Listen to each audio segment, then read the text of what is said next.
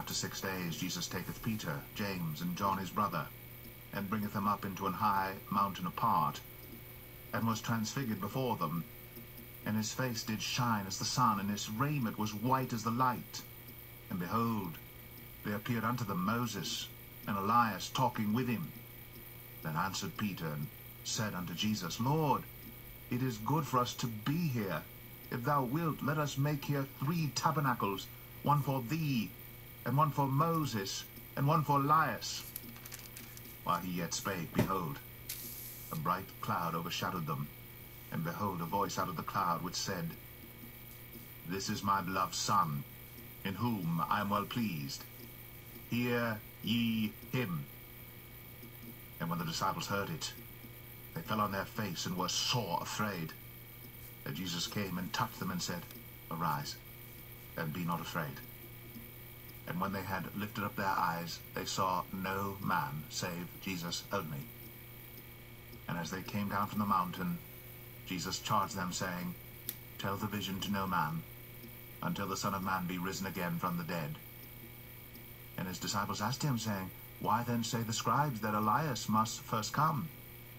And Jesus answered and said unto them, Elias truly shall first come, and restore all things. But I say unto you that Elias is come already, and they knew him not, but have done unto him whatsoever they listed. Likewise shall also the Son of Man suffer of them. Then the disciples understood that he spake unto them of John the Baptist. And when they were come to the multitude, there came to him a certain man kneeling down to him, and saying, Lord, have mercy on my son, for he is a lunatic and sore vexed.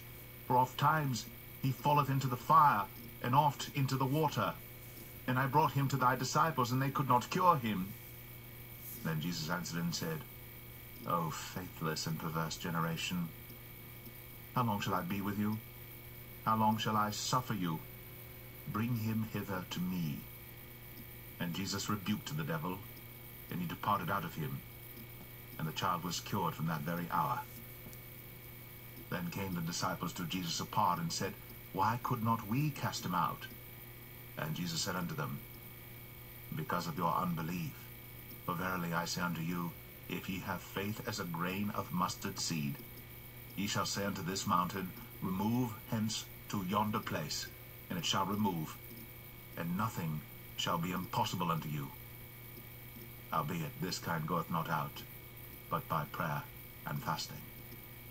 And while they abode in Galilee, Jesus said unto them, The Son of Man shall be betrayed into the hands of men, and they shall kill him, and the third day he shall be raised again. And they were exceeding sorry.